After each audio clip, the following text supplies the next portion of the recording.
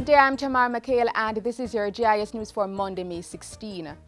The committee established to investigate last week's collapse at the Blue Diamond Royalton Negril should be presenting its report to the local government minister later this week. The committee members, along with Minister Desmond McKenzie and members of the Hanover Parish Council, toured the construction site and held a technical meeting on the weekend as part of their investigation. We are using technology to assist in assessing what has taken place. One of the tests sought to assess whether the columns at the site of the accident met the basic standard for strength. We have used the Schmidt hammer to carry out the compressive test of the column to see that the strength is adequate for the design of the column. And this minimum strength must be 3000 psi, that is pounds per square inch. And what I have received here is 3402 psi which is above the 3,000 required. Minister McKenzie says the results of the technical tests, a report from the hotel developers and comprehensive report from the Hanover Parish Council have been handed over to the committee to inform its work.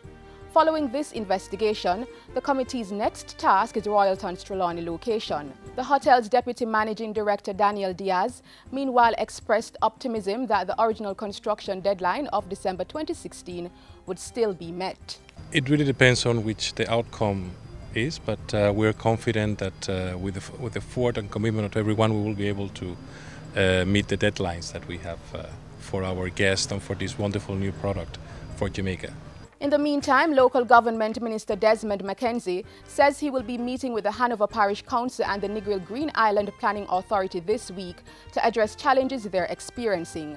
I know that there's an area of grievances that exist there and I'll be meeting with them to discuss the concerns and to see how best uh, we can work it out because both organizations are crucial to the development of the parish. Minister McKenzie revealed that the committee set up to investigate the Royalton collapse would also be looking at the weaknesses that exist in the parish council. And the committee has, was tasked with the responsibility of not just finding out what went wrong, but also to make recommendations, not just to prevent what took place, but recommendations on how to improve the quality of the service delivery of the Hanover Parish Council. Education Minister Senator Ruel Reid has asserted that government will not defund high schools. He was responding to concerns raised on Saturday by the Jamaica Association of Principals of Secondary Schools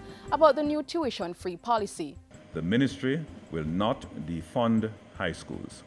We will ensure instead that all schools are adequately funded in order to carry out their functions to educate the nation's children. This is why we've asked each school to provide us with its individual budget in order to accurately determine the level of funding required.